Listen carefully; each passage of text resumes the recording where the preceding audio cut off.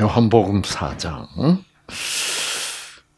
예수님께서 그 어, 사마리아 어, 장녀 꽃뱀을 만난 얘기입니다. 자, 가서 네 남편을 불러오라. 여자가 대답하여 가로되 나는 남편이 없습니다. 예수께서 네가 남편이 없다는 말이 옳다. 그렇습니다. 참 정제하지 않는 어, 말씀. 그래서 사도 바울도 어, 이 이런 예수님을 깨닫고 이렇게 말했습니다. 그러므로 이제 그리스도 예수 안에 있는 자에게는 결코 정죄함이 없다. 그렇습니다. 그래 놓고 이는 그리스도 예수 안에 있는 생명의 성령의 법이 죄와 사망의 법에서 너를 해방하였습니다. 아, 음. 그 당시까지 유대인들이 지키고 있던 하나님의 법은 또 오랫동안 아, 사도 바울이 예수님을 만나기 전까지 자기가 열심히 지키고 있던 그 하나님의 모세 율법은 돌이켜 보니까 그것이 무슨 법이었다? 자기를 항상 정죄하는 법이었다. 음, 이렇게 해라, 저렇게 하지 말라. 어, 이런 거를 아, 안 지키면 어, 하나님이 벌을 줘서 죽인다. 라는 항상 그 하나님에 대한 두려움 속에서 어, 지켰던.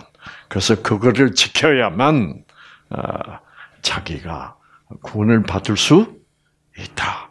아, 천국을 갈 수 있다. 라는 이런 식의 법. 그거는 이 세상의 법과 똑같습니다. 그렇죠? 음, 이 세상의 법도 안 지키면, 아, 안 지키면, 아, 자, 정죄를 받아서 형벌을 받잖아요. 그렇죠? 하나님의 법도 이 세상의 법 같은 그런 법, 다시 말하면 그런 법은 무선적 법이에요. 조건적 법으로. 하나님의 법도 조건적으로 오해하고 지켰던 그 하나님의 율법을 사도, 어, 사도 바울은 지금 아 내가 지켰던 그 율법은 내가 어, 조건적으로 지켰구나. 그래서 조건 조건적으로 지켰던 그 율법을 하나님의 율법은 정말 그 하나님의 사랑을 나타내고 있었는데 나는 그것을 모르고 그, 그 무조건적 사랑 소 어, 사랑을 그 율법 속에서 찾아 찾아보지 못하고 그냥 조건적인 법으로만 오해하고 내가 그 어, 법을 지키고 있었구나. 그 법은 결국은 조건적 죄와 그럴 때좀 조건적. 그러니까 조건적인 법은 결국 나를 사망으로 이끌죠. 음. 그래서 죄와 사망의 법에서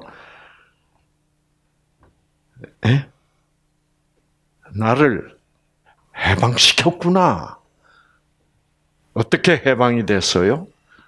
아, 예수님을 만나고 보니까 예수님 안에 있는 그 모세 율법은 아, 그 조건적인 사망의 법이 아니라 무엇, 무엇이구나?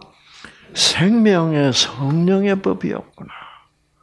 그래서 예수님을 만나면서 자기가 참 과거에 철저하게 조건적으로 지켰던 법을 이제는 그것을 아 그것이 바로 하나님의 사랑, 무조건적 사랑을 나타내는 그 생명의 성령의 법이었구나.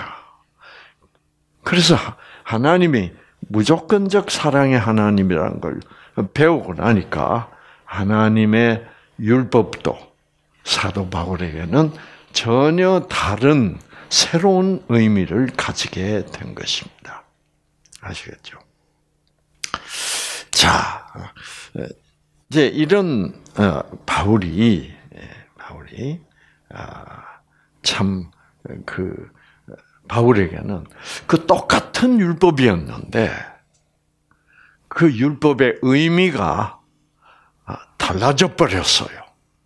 아, 하나님을 철저히 조건적 하나님이라고 생각했을 때 그때 모세 율법을 본 거하고 이제 무조건적 사랑의 하나님을 나타내는 예수님을 만나고 나서 율법을 보니 와 자기가 예수님을 모를 때, 즉 무조건적 사랑의 하나님을 알지 못했을 때 지켰던 그 모세의 율법은 지금 보니까 뭐예요? 자기가 조건적인 법으로 철저히 오해하고 지켰기 때문에 그것은 자기를 두렵게 하고, 예, 예. 정말 그래서 결국은 유전자가 꺼지게 하고, 예. 하나님이 점점 무서워지고, 이런 이렇게 내가 살았구나. 아, 예. 그런데 예수 그리스도 예수 안에 있는 법은 아, 그런 죄와 사망의 법 조건적인 법이 아니라 아, 무슨 법이더라? 아, 무조건적 사랑을 나타내는 법이었다를 내가 알게 됐다. 이 말입니다. 그러면 여러분, 음, 아, 이제 십계명을 보면 살인하지 말라라는 법이 있어요. 그래서 아, 그러면 그 법은 조건적으로 보면 어떻게 보입니까? 네가 살인만 해봐라. 내가 너를 어떻게 가만 안 둘 테다.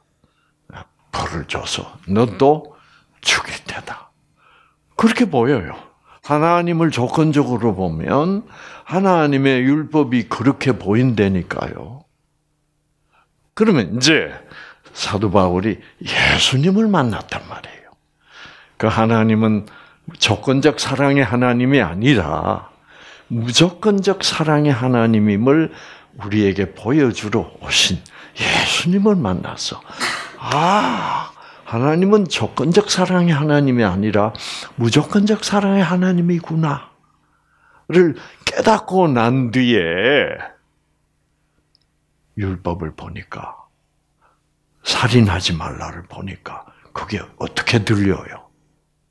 다르게 들리더라 이 말입니다. 어떻게 들렸을까요?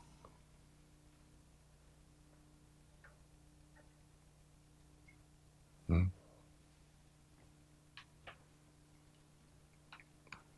아. 아, 십계명에 보면 도적질 하지 말라. 아, 이 번역이 사실 잘못됐어요. 어, 어, 거짓말 하지 말라. 어, 그 다음에 가늠하지 말라. 다 이렇게 되어 있어. 무슨 형이에요? 명령형이에요. 네. 그래서 우리가 그거를 명령형으로 보면 네가 이 내 명, 내가 하는 이 명령을 지키지 않으면 뭐예요? 혼날 줄 알아. 이런, 이렇게 봐버린단 말이야, 하나님. 그러면, 여러분, 하나님이 무조건적 사랑이라고 깨닫고, 이 똑같은 법을 보면, 그게 명령형일까요? 네? 네. 그게 알고 보면 명령형이 아닙니다. 아시겠죠? 제가 이거를 잘좀 어, 오늘 어, 알려, 알려드릴게요. 자, 그러면 한번, 자, 오늘,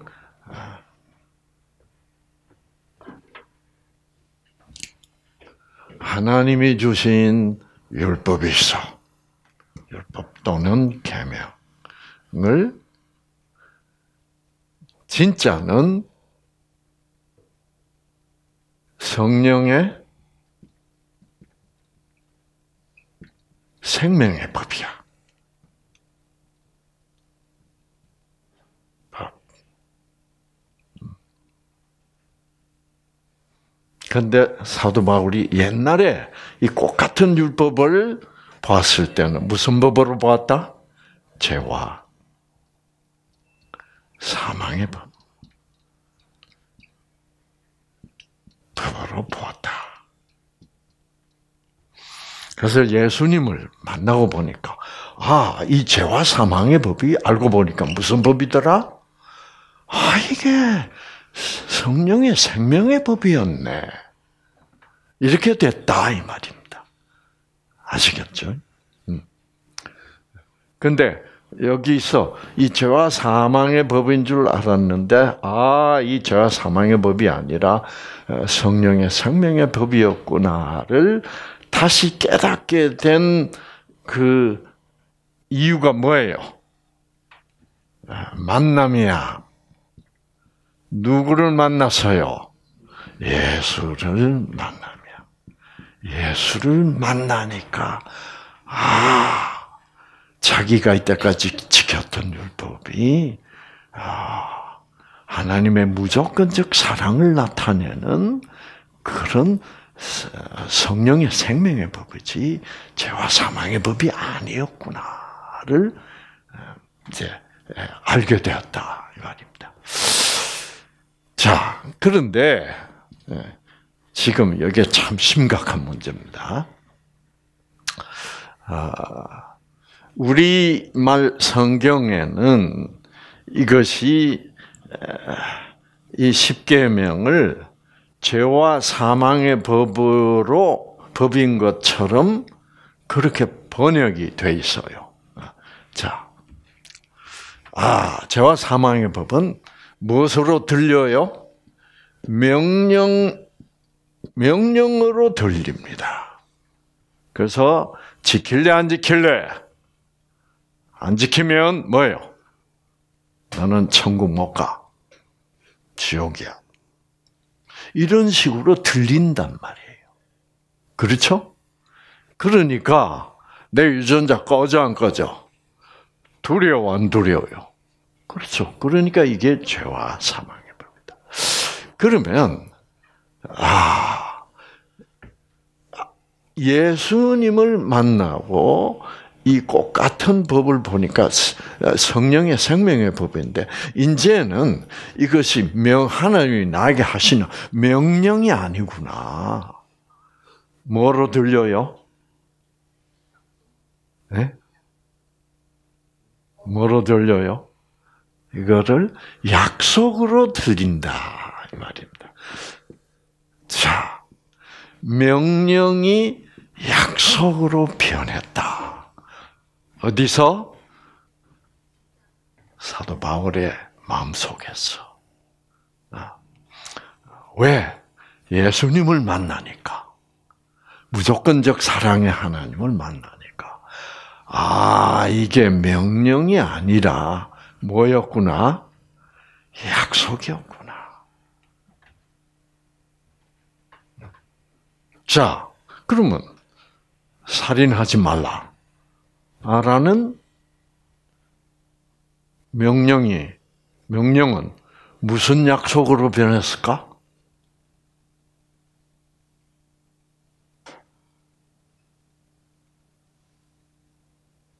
음. 요게 중요해요. 요거를 여러분이 이해하셔야 돼. 네. 아주 중요합니다. 자, 그러면 여러분 이제 십계명은 어디다가 기록했죠? 특별히 예, 다른 율법들은 다른 600 몇 가지가 음, 몇십 가지가 되는 율법들은 다 종이에 이제 책으로 두루마리에 기록이 됐는데 그것을 다 줄여 가지고 요약한 그 십계명은 어디다 기록했습니까? 돌판에 기록했죠. 어, 아시겠죠? 자, 그래서 한번 그 돌판이 아, 그 돌판을 모세가 하나님으로부터 받았습니다. 받았는데 모세는 그 두 돌판을 뭐라고 부르냐 하면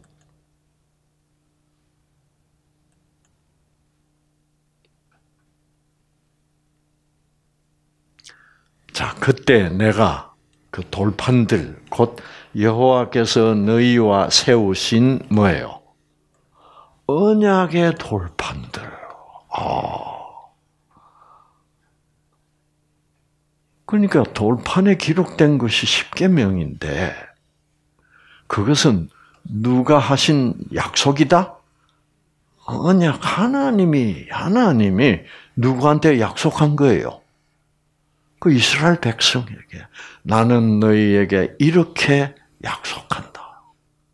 라는 약속이란 말이에요. 그래서 이 두 돌판을 보관해 놓은 괴를 무슨 괴라 불러요? 언약괴라 불러요. 그래서 하나님의 모든 법은 명령이 아니라 무엇이구나? 아, 언약이구나. 약속이구나. 아. 를 깨달았다는 말입니다. 그래서, 아하, 내가 죄와 사망의 법에 갇혀서 살다가 드디어 무슨 법을 깨달았다? 하나님의 법은 나에게 생명의 성령의 법이구나. 와, 그럴 때 이제 행복해지는 거예요. 네. 명령, 하나님의 법이 명령이라면 하나님은 항상 우리에게 뭐 하시는 분이에요? 갑질하는 분이지. 너 이거 해, 이거 안 하면 뭐요? 죽어, 죽을 줄 알아? 어. 이래서 그럼 우리는 뭐요? 네, 알겠습니다. 열심히 복종하도록 하겠습니다. 우리와 하나님 사이가 그런 사이인가요? 그렇게 되면 하나님 믿는다는 게 이게 참 괴로워요. 네. 갑질하는 주인 밑에서는 우리는 을질밖에 못해. 그렇죠? 그러면 힘들어. 스트레스야. 음. 그럼 하나님이 살인하지 말지니라. 라고 명령했잖아요. 그래서 제가, 제가, 아, 이거 참 재밌는 거구나. 그래서 어, 제가 원어로 다시 쫙 봤습니다. 이것이 진짜 약속일까? 아. 그래서 이제 보니까 아, 약속 맞아요. 살인하지 말라. 라고 번역된 게 잘못 번역된 거예요. 어, 자, 제가 번역을 제일 충실히 한 영어 성경을 한번 보여드렸습니다. Thou shall not. 이건 너무 구식 영어입니다.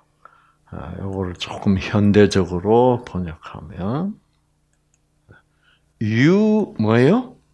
You shall not murder. murder는 죽이는 겁니다. 살인하는 거. 자, you shall not이라고 번역됐어. 어, 요게, 요거는 순수한 명령형이 아닙니다. 명령을 하면 뭐예요? 어, 살인하지 말라를 영어로 번역하면 뭐예요? Don't murder입니다. Don't murder. Don't murder. Do not murder. 그게 명령이에요. 그런데 do not murder가 아니에요. 원어는 원어는 you shall not murder. 이 말은 무슨 말이에요? 쉽게 번역하면 너는 살인하지 않을 것이다. 이 말이에요. 그런데 너는 살인하지 않을 것이다. 라는 이게 미래형이에요. 그렇죠. 미래. 예? 근데 미래형에 또 뭐가 있어요? will이 있잖아요. will. 우리가 익숙한 것은 will입니다. You, you will not murder. 이 말은 너는 살인하지 않을 것이다. 란데 그거는 너는 살인하지 않을 것이다. 그 말에 불과해요. 그런데 여기 이제 샬 이거는 아, 지금 현재는 미국서도 별로 사용하지 않는 그런 어법이에요. 지금 현재는 영국서만 사용돼. 그 you shall not murder는 뭐냐면 그 말하시는 삶. 자, 이건 누구 입에서 나온 말이에요? 하나님 입에서 나온 말이에요. 그래서 그 말하는 그 지금 이렇게 유샬나 머드라고 말씀하시는 하나님의 의지가 그 하나님의 뜻이 하나님의 의지가 포함된 미래형입니다. 그래서 이런 것 문법적으로 의지 미래형이라고 그래. You will 하면 그거는 말하는 사람의 의지는 포함 안 됐어. 너는 어, 너는 아무리 봐도 사람 죽일 사람 아니야. 어, 사람 안 죽일 거야. 어, 그거는 나, 나의 뜻은 아니야. 그런데 you shall not 그러면 너는 살인하지 않는 사람이 될 거야. 라는 그 말 속에 누구의 의지가 포함되어 있다? 하나님의 의지가 포함되어 있다 이 말입니다. 그건 무슨 말이냐면 나는 너를 절대로 사람 죽이지 않는 사람이 되게 해 줄 거야. 라는 약속이었다 이 말이에요. 아시겠죠? 그럼 사람을 미워하는 것은 예수님이 나 어, 뭐라 그랬습니까? 뭐 또 형제를 죽인 살인하는 것이다. 형제를 미워하는 것도. 그래서 그 말은 뭐예요? 결국은 나는 네가 아무도 미워하지 않는 사람이 되게 해 주겠다. 나는 너를 그 말을 다른 말로 더 적극적인 말로 바꾸면 뭐예요? 나는 너를 원수도 사랑하는 사람으로 만들어 주겠다라는 약속이단 말이에요. 여러분, 우리가 우리 힘으로 원수도 사랑할 수 있는 사람이 될 수는 없습니다. 네. 원수도 사랑할 수 있으신 분은 하나님밖에 없어요. 왜? 그 하나님은 무조건적 사랑의 하나님이니까. 그렇다면 이 말은 무슨 말이에요? 나는 너를 원수라도 미워하지 않는 원수라도 사랑할 수 있는 사람으로 결국 누구 같은 사람으로 하나님 같은 사람으로 만들어 주겠다는 언약 약속이다 이 말이에요. 인간은 할 수 없어요. 자, 인간은 할 수 없는 그런 약속입니다. 하나님이 약속하시는 이유는 우리 힘으로는 절대로 못하기 때문에 하나님이 해 주셔야만 되는 일이기 때문에. 그래서 이 십계명 십계명이 기록된 그 두 돌판을 언약의 돌판이라고 그런다 아시겠죠? 그래서 하나님이 다 나는 약속한다. 그 말이. 어. 자, 여러분. 약속하는 분은 우리를 도와주시겠다는 분이에요. 그렇죠? 아, 아. 그러니까 우리는 할 수 없는데 우리가 할 수 있도록 어떻게 도와주시겠다. 라는 말은 결국 우리를 어떻게 우리를 도우시겠다. 그 말은 우리를 어떻게 섬기시겠다는 말하고 같습니다. 이게 명령이라면 그래서 여기는 약속한다는 것은 섬기겠다는 뜻이고 나는 너희를 섬기겠다라는 뜻. 왜 네가 도와주겠다는 뜻이고 명령은 뭐예요? 섬기겠다가 아니죠. 뭐예요? 섬기 섬기라죠. 그러니까 지금 사람들이 하나님의 율법을 자꾸 뭐로 보고 있어요? 섬겨 이놈아. 이렇게 보고 있다. 그렇게 보면 하나님이 하나님은 섬김을 받으시는 분이 되고 우리는 뭐예요? 우리가 섬기는 하나님을 섬기는 자가 돼버린다 이 말입니다. 어 박사님 그게 맞잖아요. 왜? 교회 가니까 맨날 하나님을 어떻게 잘 섬기라고 그러던데요. 그거는 사람들이 하나님을 조건적 하나님으로 오해하고 가르치면 그렇게 됩니다. 그러나 여러분이 성경을 잘 보시면 보시면 어떻게 되어 있느냐 하면 어, 누가 섬기겠다고 그래요? 자, 여기 이제 마태복음. 마태복음 20장. 네. 예수님이 자기를 가르쳐서 인자라고 부릅니다. 사람의 자식. 인자가 너희들에게 온 것은 섬김을 받으려 함이 아니라 뭐예요? 도리어 너희를 섬기려 하고. 예. 자기 목숨까지도 많은 사람의 대성물로 주려 하십니다. 하나님이 섬기는 분입니다. 여러분, 우리 유전자를 우리가 어떻게 할 수 있어요? 못해. 꺼진 유전자를 내 힘으로 켤 수 있어요?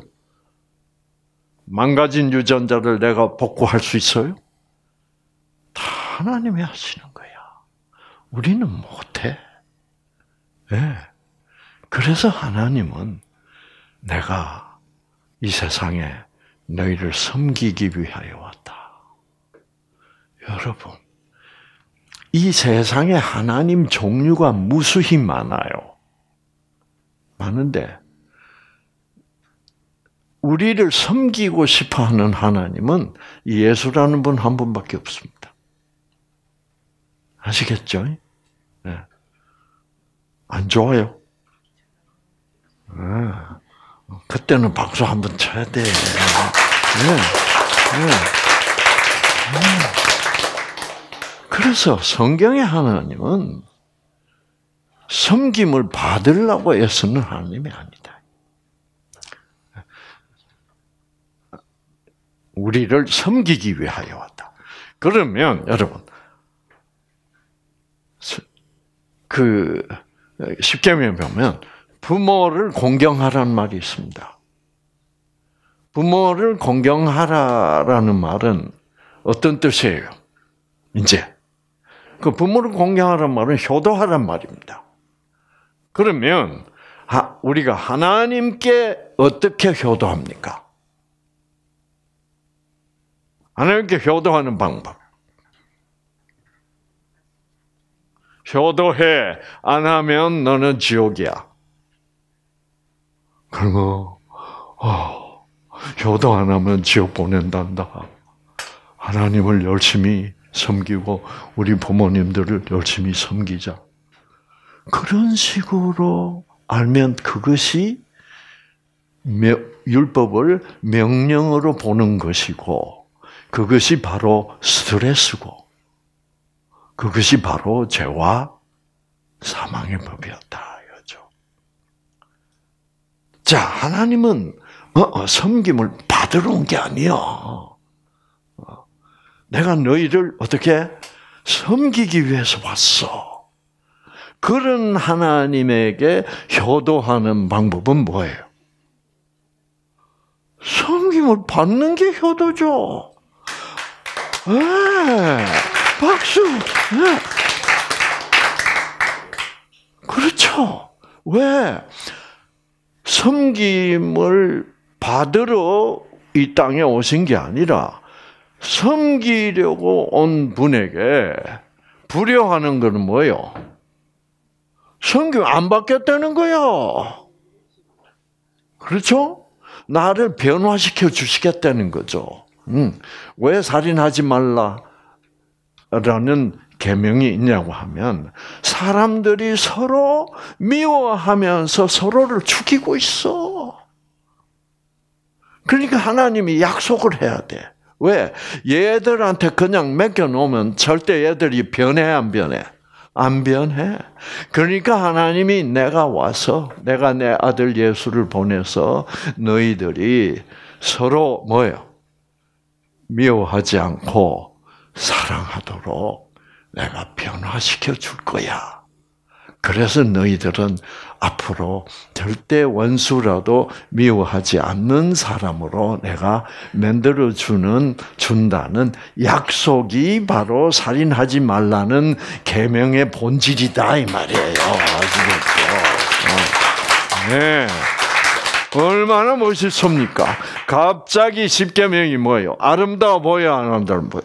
와, 이런 거구나. 네. 이런 거. 이럴 때 하나님에 대한 오해가 어떻게 확 풀리잖아. 인상이 달라진다고. 하나님을 명령하시는 하나님으로 어? 그렇게 알고 있으면 항상 하나님을 찾아온 하나님을 어떻게 하고 있어요? 알겠지? 말 잘 들어? 그런 하나님을 사랑한다는 건 보통 일이 아닙니다. 아시겠죠?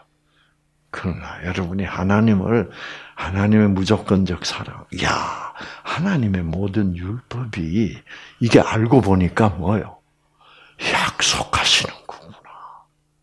네. 라고 깨달을 때, 와, 우리는 그 하나님을 더, 더 깊이 알고 싶어, 안 싶어? 그러면 그냥 내 마음에서 우러나오면서 그 하나님과 더 가까이 가고 싶고 그래서 하나님이 나를 변화시켜 주시는 그 일이 나를 하나님이 하나님이 나를 뭐요 섬기시는 거 아닙니까? 어? 그래서 예수님이 나는 섬기러 왔다. 내가 약속한 대로 어떻게 내가 십계명에 약속한 대로 그대로 너희들이 그렇게 되게 하기 위하여 이 땅에 왔다는 거야. 네. 네. 그래서 하나님의 십계명, 십계명은 모든 율법을 의미합니다. 그래서 그 그러니까 모든 율법 십계명은 결국 하나님의 뭐예요? 약속이다. 그래서 요거를 재확인하고 지나갑시다. 출애굽기 10, 19장을 보면 드디어 이스라엘 백성들이 애굽에서 해방돼서 음, 광야로 나왔습니다. 그때가 이스라엘 자손이 애굽 땅에서 나올 때부터 어, 셋째 달 제3월 곧 그때 그들이 신의 광야에 이르렀다. 그래서 신의 산에 아야 도달했다는 겁니다. 여기서 이제 하나님이 드디어 그 자기가 해방시킨 아, 노예 생활부터 해방시킨 이스라엘 백성들에게 하나님이 율법을 주신단 말이야. 내가 그 율법은 결국은 뭐예요? 내가 너희들 이제 해방시켰는데 지금 앞으로 내가 할 계획은 이렇다. 내가 너희들을 이렇게 변화시키려고 약속하는 바이다. 를 준 것이 율법이다 이 말입니다. 자, 그래서 여기서 이제 나가면 24장에 어, 가면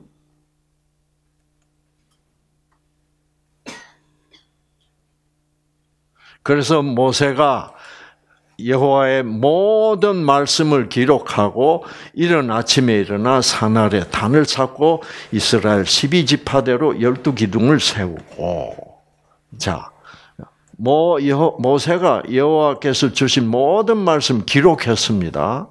그 기록한 것을 뭐라고 부른, 부른 줄 아세요? 언약서라고 불러요. 아시겠죠? 네. 그 모세가 하나님이 신의 산에서 주신 모든 말씀은 모든 율법이에요. 그거를 기록했는데 그 책의 이름이 뭐라고? 언약서. 그 이 언약서에 기록된 모든 율법을 열 가지로 딱 요약해서 하나님이 돌판에 기록하여 주신 그 두 돌판을 무슨 돌판? 언약의 돌판이라고 부른다. 자, 여러분. 자, 이제 좀 마음이 착 놓입니까? 예, 아, 이제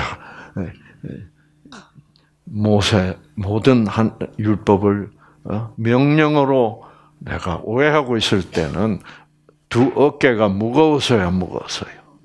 그래서 예수님이 와서 이렇게 말씀하신 거예요. 수고하고 수고하고 무거운 뭐예요? 율법의 명령의 짐을 지고 허덕이는 너희들아. 다 누구에게로 오라?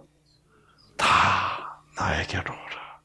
나에게로 오면 아 너희가 무겁게 수고하고 지고 가는 그 율법의 짐이 명령이 아니라 명령의 짐이 아니라 내가 너희에게 해준 뭐요? 다 약속이야 그게. 네. 네. 그러면 뭐라 그러겠어요? 대박! 그러지 않겠어요. 그러면서 어, 사람들이 하나님께 어떻게 더 가까워지는 겁니다. 음. 그래서 예수님이 다 내게로 오라. 내가 너희를 쉬게 하리라.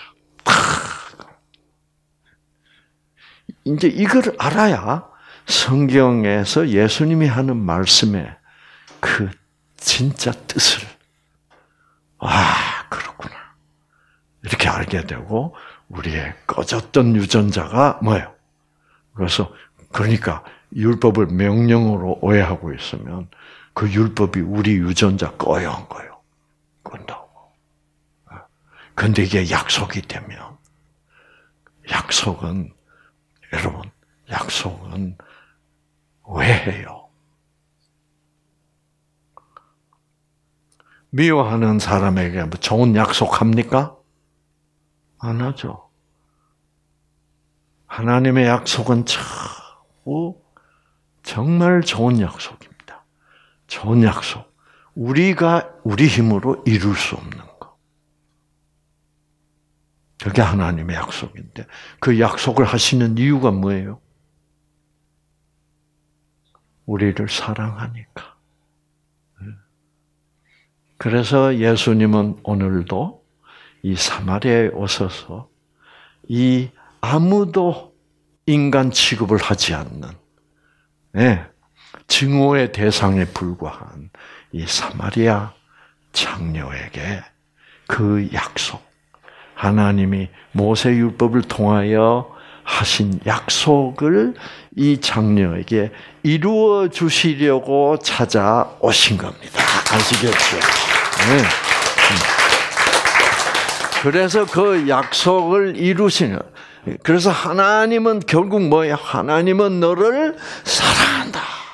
하나님은 너를 이런 생활로부터 어떻게 너를 구원하려고 나 우리 아버지는 나를 보내서 지금 내가 너와 대하고 있다는 것을 가르치죠. 가르쳐 주는 예, 그런 과정. 예. 자, 그래서 요거를 예, 알고 다시 우리가 요한복음 4장으로 가서 자, 네가 남편이 없다 하는 말이 옳도다. 그러면서 예수님이 계속해서 설명합니다. 네가 담 남편이 뭐예요? 다섯 명 있었다. 지금 예, 지금 있는 자는 내 남편이 아니니 네 말이 뭐예요? 네가 남편이 없다는 말이 참되도다. 아, 여러분. 이 여자는 거짓말 하려고 남편이 없다. 하고 자기 과거 더러운 과거가 드러날까봐 남편이 없다고 그렇게 거짓말을 했는데 예수님은 네가 남편이 없다 하는 말이 뭐요? 옳도다. 옳도다. 그 다음에 뭐요? 네가 네 말이 참되다. 여러분, 사실은 옳은 말도 아니고 참된 말도 아니에요. 여러분, 이거는 굉장히 중요한 말입니다. 아시겠죠? 네. 아, 음.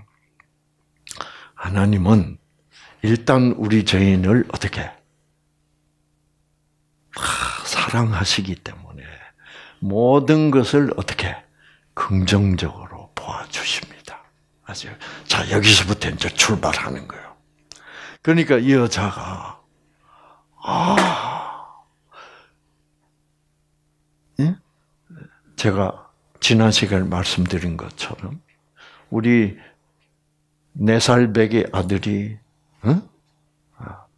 어? 네가 쏟았다고 그러지 않고 아, 오렌지 주스 잔이 지가 어지러워서 넘어져서 쏟았다고 할 때 정죄하지 말이야. 정죄하지 않을 때 사랑은 아 우리 아빠는 정말 나를 사랑하는구나를 느끼게 됩니다. 여기서 이 여자는 아 이분이 누군지 잘 모르겠지만은 참 이분은 나를 벌써 사마리아 여인인데도 불구하고 유대인 남자가 말을 걸어준다는 것부터가 뭐예요? 자기를 아무도 사람 취급 안 하는 자기를 뭐예요? 사람 취급한다. 그래서 말을 걸어주는 것부터 참 놀랍다는 것을 느꼈는데 이제는 거짓말 하려고? 어, 저는 혼자 사는 여자입니다. 남편 없습니다. 저는 과거가 깨끗합니다. 라는 것을 보여주려고 남편이 없다고 그랬는데, 자기 과거를 다 알아. 알면서, 그래, 남편 없단 말이 맞지. 그 말이 진짜 참되지. 세상의 사람을, 응? 이 세상에서 자기를 옳고 참된 사람으로 봐주는 사람이 사람을 만난 거예요, 지금.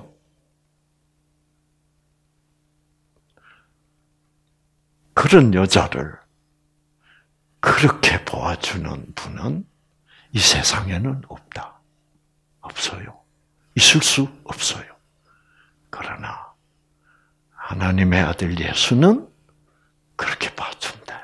그래서 예수님이 자기가 하나님의 아들 예수라는 것을 이 여자 앞에, 즉, 메시아, 구원자라는 사실을 이 여자에게 알려주는 방법이 바로 뭐를 해주는 방법이요? 사랑해주는 방법이지. 네. 나는, 나는 나만이 너를 사랑한다. 음. 이 세상에서 아무도 너를 어, 너에게 말을 걸지 않을 것이고 아무도 너를 옳다고 보지 않고 아무도 너를 참되다고 보지 않지만 나는 너를 그렇게 본다. 왜? 내가 지금 너를 옳고 참된 인간으로 어떻게 만들어 주기 위하여 내가 찾아왔다 이 말이에요. 어, 어, 어. 그래서 네가 나를 받아들이면 너는 참으로 옳고 참된 인간이 될 것이다 라는 말입니다. 어. 그랬더니 여자가 드디어 아 자기가 대화하고 있는 이 유대인 남자는 아 자기가 바라고 원하던 하나님을 잘 아는 사람 같아. 그 자기가 바라고 원하던 하나님은 지금 어떤 하나님이었습니까? 이 지금 모든 유대인이나 사마리아 사람들이 아는 바라는 하나님하고 다른 하나님 아닙니까? 자기가 바라던 하나님은 뭐예요? 무조건적 자기 같은 더러운 인간도 받아주시는 무조건적 사랑의 하나님을 잘 아는 사람인 것 같아. 그래서 그 예수님을 보고 뭐라 그래? 여자가 19절 여자가 말하되 주여 내가 보니 당신은 뭐예요? 선지자입니다. 네. 그럼 여기서 뭐가 나타나는 겁니까? 이 여자가 바라던 하나님은 무조건적 사랑의 하나님이야. 왜? 지금 선지자란 말은 하나님을 다른 사람보다 먼저 아는 사람이라는 뜻입니다. 선지자. 네. 그래서 와, 이 유대인 남자는 내가 바라던 나에게 필요한 그 무조건적 사랑의 하나님을 잘 먼저 깨달은 선지자 같다. 이제 이렇게 보는 거죠. 자, 이제 예수님이 선지자가 됐습니다.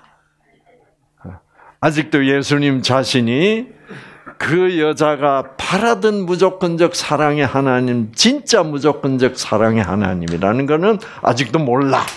아시겠죠? 자, 보세요. 이렇게 해서 지금 예수님이 얼마나 어렵게 어떻게 사랑을 부어가면서 구원이 필요한 정말 그 최악의 인간을 구원을 어떻게 하는가를 보여주고 계시다 이 말이에요. 자, 자 그래서 이 참 요한복음 4장은 제가 읽을수록 참 많은 것이 숨겨져 있어요. 네. 자, 이제 당신은 선지자이구만요. 하나님을 내가 바라는 하나님, 무조건적 사랑의 하나님을 잘 아시는 선지자입니다. 그래 놓고 여자가 묻습니다. 우리 조상들은 이 산에서 어, 예배하는데, 그러니까 이제 이 사마리아서 이 말은 무슨 말이냐 하면,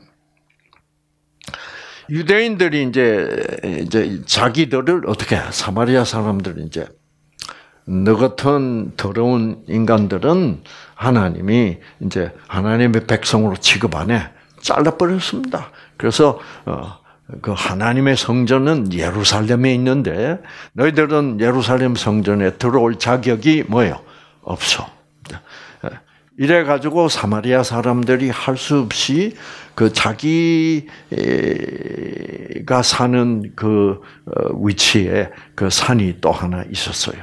그리심산이라는 산이 있었는데 그 그리심산에 자기들만의 성전을 따로 지었습니다. 그래서 거기서 예배하면서 이 사마리아 사람들은 어떻게 가르치냐면 우리가 믿는 우리가 그리심산에서 믿는 하나님이 진짜 하나님이다라고 또 가르치기 시작하는 거예요. 아시겠죠? 네. 그런데 이제 유대인들은 뭐라 그러고 있어? 우리가 하나 예배하는 무슨 하나님? 예루살렘에서 예배하는 하나님이 그래서 진짜다 이 말이야. 알고 보면 다 가짜야. 왜 다 가짜요? 그렇죠. 이 사마리아 여인 같은 그런 정말 아무도 인간 취급해 주지 않는 그 더러운 여자 일지라도 사랑하는 하나님을 믿는 그런 하나님, 무조건적 사랑의 하나님을 예배하는 성전은 아무데도 없다. 그것은 그리심산 성전도 아니고 예루살렘 성전도 아니야. 예.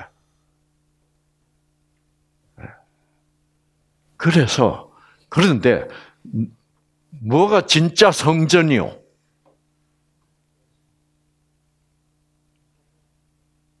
진짜 성전은 예수님입니다. 예수님 자신. 그래서 여러분, 아, 그래서 아, 이제 이거를 알아야 돼. 네. 그래서 예수님이 이제 진짜 성전인데, 아, 그래서 예수님이 여러분, 아, 이제 요한복음, 요한복음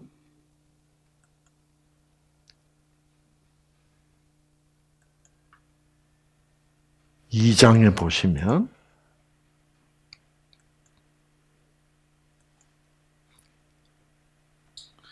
예수, 예수님이 예루살렘 성전에 갑니다. 가면서 예수께서 말씀하시되 너희가 이 성전을 뭐요? 헐어라. 내가 사흘 동안에 일으키리라. 그 말은 누가 성전이란 말입니까? 네. 이 예루살렘 성전에서는 성전을 지은 이유는 누구를 가르치기 위하여 지었는데? 네, 바로 이 무조건적 사랑의 하나님, 예수를 상징하는 건물이야. 그런데 이 건물에서 예수가 없어, 이제. 그렇죠? 없고, 그 성전에서 가르치는 신은 다 어떤 신이요? 어떤 하나님이요? 철저히 조건적이야. 그래서 이거 이제 소용 없다 그러라. 이것은 이 성전 건물은 누구를 상징하고 있었다? 나를 상징하고 있었다. 그래서 내가 지금 얼마 있으면 십자가에 달려서 죽고 3일 후에 뭐예요? 부활할 텐데 그 부활한 내가 진짜 성전이다 이 말이에요. 그래서 너희가 이 성전을 헐라 내가 사흘 동안에 다시 일으키리라. 그랬더니 음, 어, 다시 그랬더니 유대인들이 그 말이 무슨 말인지 몰라요. 이 성전 46년 동안이 지는데 네가 어떻게 3일 동안에 일으키겠냐노 하더라. 그러나 예수는 뭐를? 예. 성전된 자기 육체. 그러니까 예수님 자신이 뭐예요? 진짜 성전이란 말이에요. 아시겠죠? 근데 예수님 진짜 성전이 왔으니 그 예수님을 상징하던 건물은 이제 있어야 될 필요가 없다 이 말입니다. 그래서 그리심산에 있는 성전, 예루살렘에 있는 성전 다 이제 뭐요? 필요 없고 누구를 만나는 만나면 진짜 성전에 온 거요. 예수를 만나면 이 진짜 성전을 만난다면 그것이 이제 정말 진짜 하나님을 예배하는 것이다 이 말입니다. 아시겠죠? 그겠죠. 응, 응, 응, 그래서 이 말이 지금 이, 이 시대에 아주 필요한 겁니다. 자, 그래서 여자가 드디어 이제 자기의 고민을 얘기합니다. 우리 조상들은 이 그리심산에서 예배하는데 당신들의 말에 유대인들의 말에 의하면 뭐예요? 예배할 곳이 예루살렘에서 예배를 봐야 천국 간다. 그리심산 거기서 예배 보면 안 된다. 요즘 그래서 어, 어떤 교단들은 우리 교단에 속해야 천국 간다. 이제 그런 식으로 어, 얘기하죠. 자, 그게 이때도 바로 그런 일이 있었다. 그러니까 이제 그러니까 이 여자가 바라고 기다리고 있던 하나님은 무조건적 사랑의 하나님인데 그 무조건적 사랑의 하나님은 그리심산에 가봐도 찾아볼 수가 없고 예루살렘 성전에서도 찾아볼 수가 없게 되었는데 사람들은 자꾸 여기서 봐야 구원받는다 저기서 봐야 구원받는다니까 주님 헷갈 어, 저 선지자님 헷갈립니다 이런 얘기예요. 그러니까 예수님이 예수께서 가라사대 여자여 내 말을 믿어라. 어? 이 그리심 산인도 아니고 예루살렘도 아니고 너희가 아버지께 예배할 때가 이르리라. 자, 성전에 가서 예배 드린다고. 그게 하나님께 예배 드리는 것이 아닌데, 예. 아버지께, 이제, 그래서 지금 사람들은 마치 성전이 뭐 하나 성전인지 하나님인지 구별하지 못하고 성전 자체가 그렇게 중요하다고 생각하고 있지만 때가 되면 그 때가 언제예요? 예수님을 만나면 여러분 정말 하나님의 성전이 중요하다면 네. 그리고 예루살렘 성전이 진짜 하나님의 성전이라면 지금 예루살렘 성전 있어요, 없어요? 없어요. 없어요. 그러니까 그러면 하나님이 참 무능한 하나님이야. 자기 성전도 하나 못 지켜. 그 다음에 여러분 하나님이 손으로 친히 쓴 십계명. 그 돌판도 지금 있어 없어? 없어요. 그 돌판은 성전에 보관한 자, 성전이 다 허물어지고 불타버리고 없어지고 그 돌판도 어디 있는지 몰라. 그래서 진짜 기독교에서 제일 중요한 것은 아, 유대인들에게 가장 중요했던 것은 뭐예요? 예루살렘 성전과 뭐예요? 그 두 돌판이었어. 그게 그 여호와 유대인들이 믿던 여호와 하나님의 정체성이에요. 그거 없으면 뭐예요? 없는 걸로 맞춰 꽝이야. 근데 그거 없습니다. 그래서 요즘 어떤 운동이 일어난지 아세요? 우리 믿는 사람들이 예루살렘 성전을 다시 세워야 된다. 그렇게 지금 주장하는 사람들이 있습니다. 그리고 또 어떤 교단에서는 이 두 돌판은 반드시 맨 나중에 되면 하늘에 나타날 것이다. 저는 그런 일은 예루살렘 성전이 다시 지어지는 일, 하늘에 두 돌판이 나타난 일은 없을 것이라고 저는 확실합니다. 왜 그래요? 왜 그래요?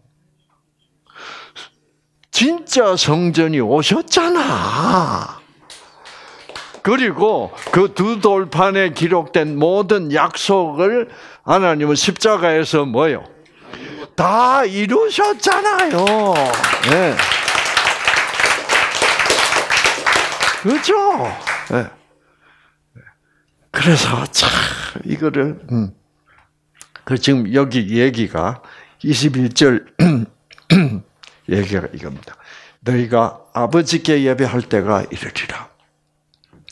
성전이 성전이고 돌판이 중요한 게 아니라 진짜 너희가 그 아버지를 직접 만나는 어떻게 직접 만나요? 예수님께서 십자가에서 부활하시고 가시면서 뭐를 약속하셨습니까? 내가 보혜사 성령을 너희들 속에 보내준다고 약속하셨죠. 그러면 그 성령으로 예배하는 것이 바로 아버지께 예배하는 것이죠. 예. 이제는 장소도 문제가 아니다 이 말이에요. 어, 너희 마음 속에 성령이 계시면 그리고 네가 어, 정말 그 성령을 너에게 보내주신 하나님의 무조건적 사랑을 알려주신 예수가 네 속에 함께 있다면 그것이 그런 삶 자체가 아버지께 예배하는 것이다. 음. 그래서 먹든지 마시든지 무엇을 하든지 네 몸 안에 계신, 네 마음 안에 계신 하나님께 영광 되도록 하자. 그러잖아요. 그런데 이거를 이해를 하지 못하면 자 월화수목금 돈은 아무거나 처먹고 어, 뭐 어, 그리고 뭐 그래서 어, 주일이 되면 뭐요 넥타이 메고 가서 하고 그거는 형식적인 신앙에 불과하다 이거죠. 성령 보혜사 성령과 예수님은 내 속에 항상 거하시고 내가 그 성령의 음성을 따라서 한순간 한순간 삶을 이어가는 그 삶 자체가 예배의 삶이 될 날이 올 것이다 이 말이죠. 음. 그게 무슨 삶입니까? 그게 뉴스타트의 삶이죠. 네, 그게. 네. 네. 그래서 여러분, 아, 네. 지금 여러분이 기뻐서 박수 치는 이것이야말로 이 순간이야말로 아버지께 예배하는 겁니다. 아시겠죠? 네. 네.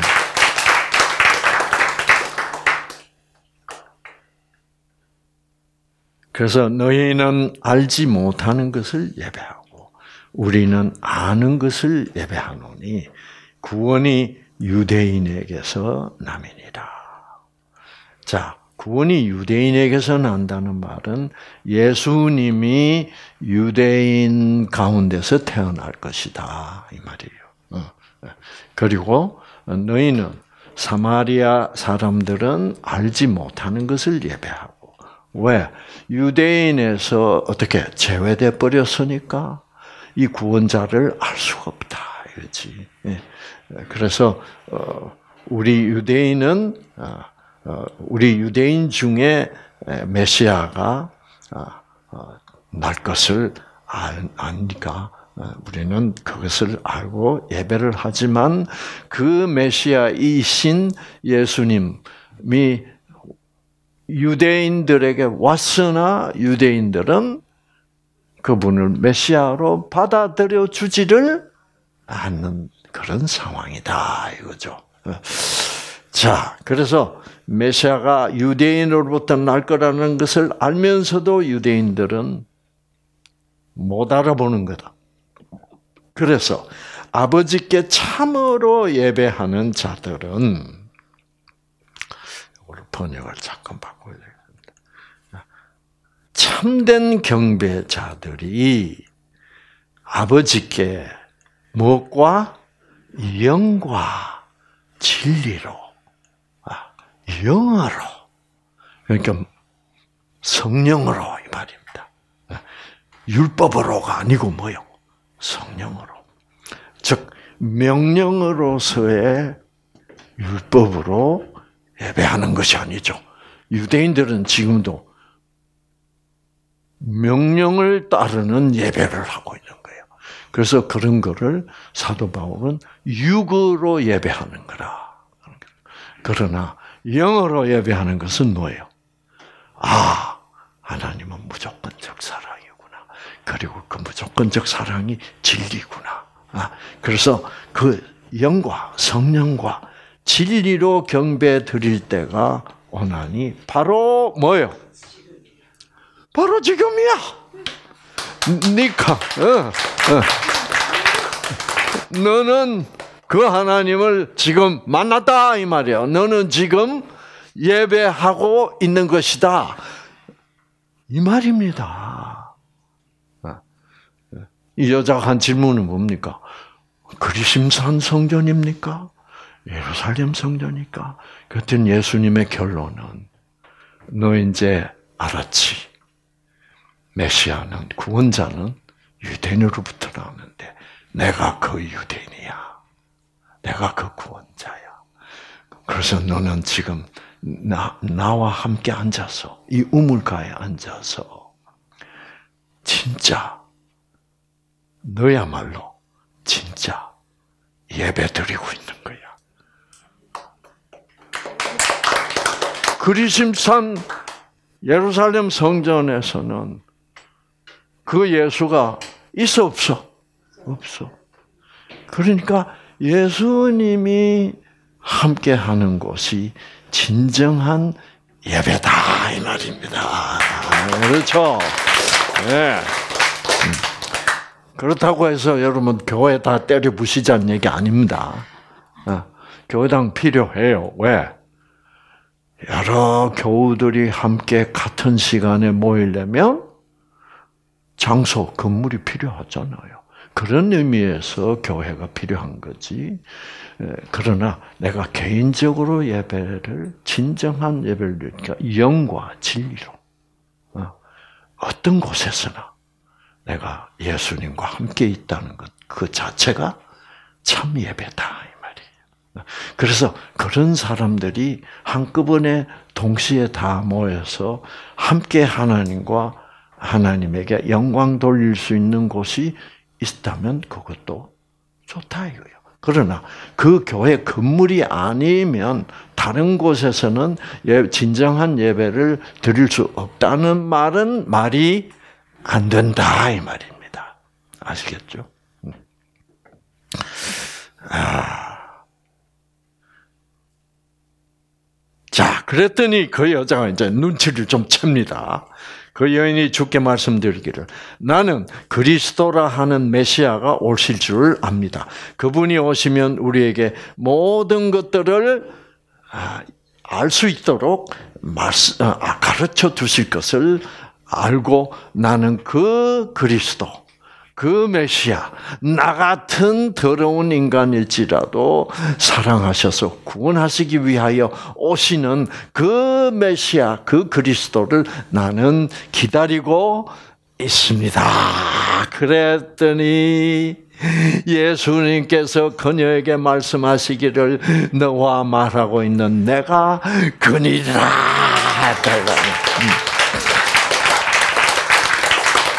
네가 기다리고 있던 메시아가 바로 나야. 어? 나는 어떤 하나님이냐, 어떤 메시아냐, 너 같은 사람에게도 말 걸고, 너 같은 사람에게도 아무도 말 걸지 않는 너 같은 사람에게도 내가 물 달라 그러고, 너 같은 사람에게도, 어? 어 네가 거짓말 하려 그래도 나는 뭐예요? 어, 네가 옳고 참되다. 아, 라고 말해주고 그래서 네가 나 이 이 나를 기다리고 있었던 거야. 그래서 내가 오늘 예루살렘에로부터 유대 땅으로부터 너를 뭐요 이 우물가에서 만나러 왔다 이 말이에요. 아, 내가 크니라. 예. 그래서 27절은 막 뺍시다. 아, 뭐 별로. 그러자 여인이 물동이를 뭐요? 물이고 뭐고 뭐요? 나는 내 생에서 기다리고 기다리던 나 같은 것도 사랑해 주는 진짜 하나님을 뭐요? 만났다 이 말이에요. 그러냐 물 깃는 거 이제 급하지 않고 지금 메시아를 다른 사람들에게 뭐요? 알리는 것이 더 급하다 이 말입니다. 그래서 물동이를 벗어 버려두고 자기를 그렇게 사람 취급해 주지 않던 사람들이 사는 동네로 뛰어들어갔다 이 말입니다. 뛰어들어가서 말하기를 응? 와서 여러분 와 보세요. 내가 행한 모든 일들 무슨 모든 일 이건 무슨 일들이요? 환양질이야, 어? 꽃뱀질이야, 어? 창녀 노릇이야. 내가 했, 던 여러분 다 아시지 않아요? 어? 내가 했던 그 과거의 모든 더러운 일들을 다 나한테 말한 그 사람을 와 보십시오. 그분이 누구나 나를 찾아왔습니다. 나를 구원하러 왔습니다. 그런 구원자를 여러분도 만나 보십시오. 여러분들은 지금 그리심산에 가서 구원받으려고 하지 않습니까? 진짜 하나님의 예, 구원자, 하나님의 아들, 무조건적 나 같은 사람도 구원하러 온 구원자를 만나보십시오. 그 사람을 그분이 우리 모두가 기다리던 구원자, 메시아, 그리스도가 아닌가 하니 사람들이 성읍에서 나와 죽게로 오다. 아 보니까 뭐이 여자가 너무 행복해하네. 네. 이 여자가 그렇게 행복한 걸 못 봤단 말이에요. 그 행복한 이유는 뭐예요? 그 메시아가 이 여자도 구원하셨기 때문에 행복하지. 아, 그 메시아는 자기 때문에 오늘 이 사마리아를. 그래서 동네에서 나와 예수께로 오더라. 그 사이에 제자들이 죽게 간청하여 말씀드려 선생님 드소서 하더라. 그러니까 이 제자들도 지금은 어떤 놀라운 일이 벌어지고 있는지도 뭐요 모르고 벌써 아, 좀 빵이나 좀 드시죠. 그러니까 예수께서 그들에게 말씀하시길 나에게는 너희가 알지 못하는 음식이 있느니라. 생명의 빵이 있다. 내가 지금 이 꽃뱀에게 생명의 떡을 줬다. 너희도 이 꽃뱀이 먹고 이렇게 구원받고 기뻐하는 그 떡을 너희도 빨리 먹어야 될 텐데. 이게 제자도 뭐, 뭐, 아직도 뭐가 뭔지 모르고 있는 거예요. 아시겠죠? 그래서, 어, 그러니까 제자들이 서로 말하기를, 누가 우리 주님께 드실 것을 가져다 드렸나? 어, 이렇게. 예수께서 그들에게 말씀한 나의 음식은 나를 보내신 이의 뜻을 행하고 그분의 일을 완성하는 것이라. 그래서 내가 온 것은 나의 음식은 지금 이 꽃뱀 같은 사마리아 꽃뱀 같은 이 여자에게도 하나님을 전해서 구원하시는 것이 내가 먹을 음식이다 이 말이에요. 그래서 여러분들도 다 예수님의 먹고 싶어하는 음식이 되셔야 한다 이 말이에요. 알겠죠? 음, 음. 자, 그래서 이거 좀 생략하고 그래서 그 성읍에 많은 사마리아인들이 그 여인의 말로 인하여 하나님을 믿었으니 그녀가 증거하기를 그분은 내가 행한 모든 것을 내게 말씀하셨다고 함이라. 이 무슨 뜻이에요? 자, 사마리아 많은 사람들이 예수를 믿어서 구원을 받았는데 그 이유는 뭐라고요? 그 예수님이 뭐라고 했기 때문에? 네. 그 여자가 행한 과거 행한 모든 과거의 그 얼마나 나쁜 짓을 했는가를 다 뭐요? 아는 분이다라고 말했기 때문이다 이 말이요. 그게 무슨 뜻이에요? 이 꽃뱀 같은 일은 인간 취급을 절대로 받을 수 없는 이런 어? 이런 창녀임에도 더러운 인간임에도 불구하고 메시아는 구, 어, 은혜로 사랑으로 구원하신 메시아임이라는 사실을 이 여자가 구원받는 것을 통하여 사마리아 사람들이 드디어 오 메시아는 구원자는 진짜로 무조건적 사랑의 하나님이시구나를 알게 되었다는 거지. 네. 그렇죠. 그래서 음, 여기까지만 합시다. 이 정도 해도 충분해요. 그래서 어, 정말 그 진짜 쓰레기 같은 여자를 만나 주시고 그 여자를 통하여 그 여자도 구원할 뿐만 아니라 그 여자를 구원했기 때문에 사마리아 사람들이 아하 구원자 메시아는 이런 여자까지도 사랑하시고 구원하시는 그런 무조건적 사랑의 하나님이시구나를 사마리아 사람들도 알게 돼서 구원을 많이 받았다는 얘기로서 끝나는 것입니다. 할렐루야. 그렇죠? 음. 하나님 정말 우리의 마음을 기쁘게 해주는 하나님이 과연 예수님은 무조건적 사랑의 하나님임을 확신시켜주는 놀라운 복음입니다. 하나님, 이 말씀을 이렇게 성경책에 기록해 주셔서 감사합니다. 오늘도 이 놀라운 복음과 함께 우리의 유전자들이 막 켜져서 치유받는 그런 놀라운 아, 예배 참 예배 날이 되게 하여 주시옵기를 예수님 이름으로 기도합니다. 아멘.